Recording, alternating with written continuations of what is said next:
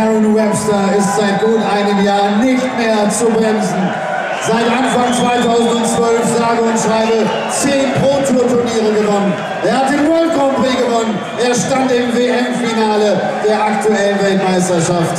Es ist wirklich the hottest player in town. Heißt ihn mit mir willkommen hier im Glaspalast. Mighty Mike